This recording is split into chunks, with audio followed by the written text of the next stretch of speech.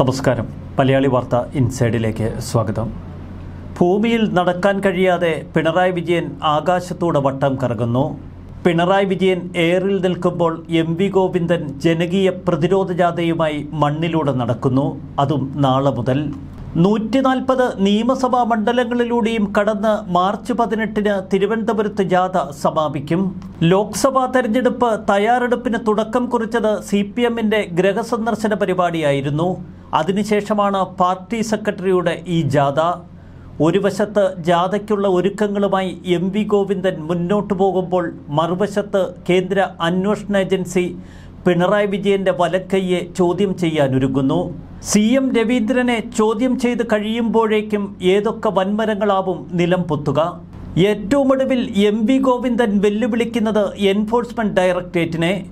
മുഖ്യമന്ത്രിയെ നിങ്ങൾ തൊടില്ല എന്നു പച്ചയ്ക്ക് പരസ്യമായി വെല്ലുവിളിക്കുന്നു. വ്യക്തമാണ് ഗോവിന്ദന്റെ മനസ്സിലിരിപ്പ്.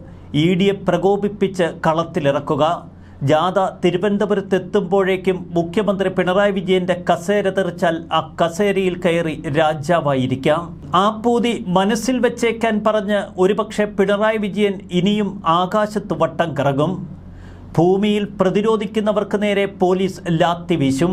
ഇന്ത്യയിൽ കേട്ടുകേൾവിയില്ലാത്ത തരത്തിലാണ് ഇപ്പോൾ കാര്യങ്ങളുടെ പോക്ക്. രാഷ്ട്രീയ എതിരാളികളെ കരുതൽ തടങ്കലിലാക്കുക ഒരു സംസ്ഥാനങ്ങളിലും കേട്ടുകേൾവിയില്ല. ഒരുപക്ഷെ അടിയന്തരാവസ്ഥക്കാലത്ത് മാത്രം നാം കേട്ട ഇത്തരം വാർത്തകൾ ഇപ്പോൾ കേരളത്തിൽ ദിനം പ്രതിയെന്നോണം കേൾക്കുന്നു. മുഖ്യമന്ത്രി പിണറായി വിജയൻ സന്ദർശിക്കുന്ന സ്ഥലങ്ങളിലുള്ള രാഷ്ട്രീയ പ്രതിയോഗികളെ കരുതൽ തടങ്കലിലാക്കുന്നു. മൂളയില്ലാത്ത കോൺഗ്രസുകാർ എന്തുകൊണ്ടാണ് ഇതിനെതിരെ പ്രതികരിക്കാത്തത്? എന്തുകൊണ്ടാണ് പ്രതിപക്ഷ നേതാവ് ഇത്തരം നീക്കങ്ങൾക്കെതിരെ ശക്തമായ പ്രതിരോധം തീർക്കാത്തത്? അതുകൊണ്ട് തന്നെ രാഷ്ട്രീയ പ്രതിയോഗികൾ ഇനിയും ജയിലറയ്ക്കുള്ളിൽ അടയ്ക്കപ്പെടും.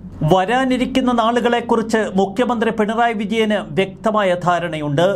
എൻഫോഴ്സ്മെന്റ് ഡയറക്ടറേറ്റിന്റെ ചോദ്യം ചെയ്യൽ സി എം രവീന്ദ്രനിൽ അവസാനിക്കില്ല എന്ന് പിണറായി വിജയൻ അറിയാം അതുകൊണ്ട് തന്നെ എല്ലാ ജനകീയ സമരങ്ങളെയും മുളയിലെതുള്ളുക ഇപ്പോൾ ബജറ്റിന്റെ പേരിലാണെങ്കിൽ നാളെ ഒരു പക്ഷേ ചോദ്യം ചെയ്യപ്പെടലുകളുടെ പേരിലാവാം. എല്ലാ സമരങ്ങളെയും നിർദ്ദയം അടിച്ചമർത്തും എന്ന സന്ദേശം നൽകിയാണ് ഇപ്പോൾ ഭരണം മുന്നോട്ടു പോകുന്നത്. തെറ്റുതിരുത്തൽ രേഖയിലൂടെ ഇക്കഴിഞ്ഞ ദിവസം എം വി ഗോവിന്ദൻ പ്രഖ്യാപിച്ചിരുന്നു. പാർട്ടി വേറെ ആർത്തി വേറെ.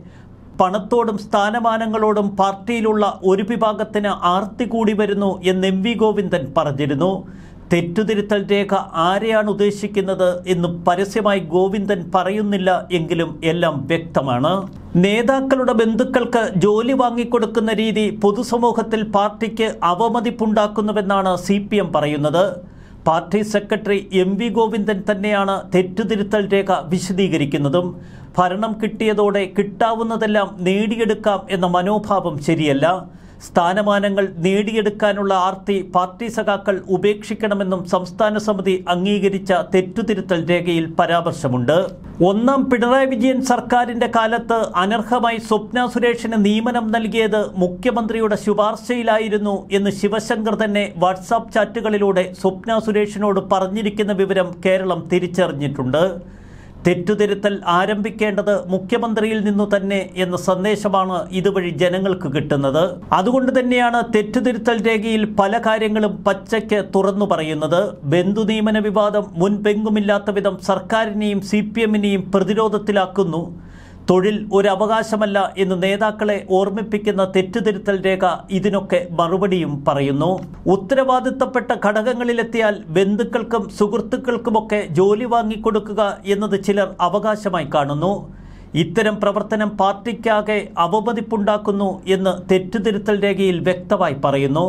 അർഹതപ്പെട്ടവർക്ക് ലഭിക്കേണ്ട തൊഴിൽ പാർട്ടി നേതാക്കൾ തട്ടിയെടുക്കുന്നു എന്ന വികാരമാണ് ഇപ്പോൾ ജനങ്ങൾക്കുള്ളത്. പാർട്ടിയും ജനങ്ങളും തമ്മിലുള്ള അകൽച്ചയ്ക്കും സംരക്ഷണം അർഹിക്കുന്നവർക്ക് അത് കിട്ടുന്നില്ല എന്ന തോന്നലിനും ഇത് വഴിയൊരുക്കുമെന്നാണ് തെറ്റുതിരുത്തൽ രേഖയിൽ ചൂണ്ടിക്കാട്ടുന്നത്. ഇത്തരം പ്രവർത്തനങ്ങൾക്കെതിരെ കർശന നടപടിയെടുക്കണമെന്നാണ് തെറ്റുതിരുത്തൽ രേഖ നിർദ്ദേശിക്കുന്നത്. ഭരണം കിട്ടിയതോടെ കിട്ടാവുന്നതെല്ലാം നേടിയെടുക്കാൻ ഒരു വിഭാഗം ശ്രമിക്കുന്നു. പലവിധ അധികാരങ്ങൾ ലഭിച്ചെന്ന പരാതിക്ക് അത് ഇടയാക്കുന്നു.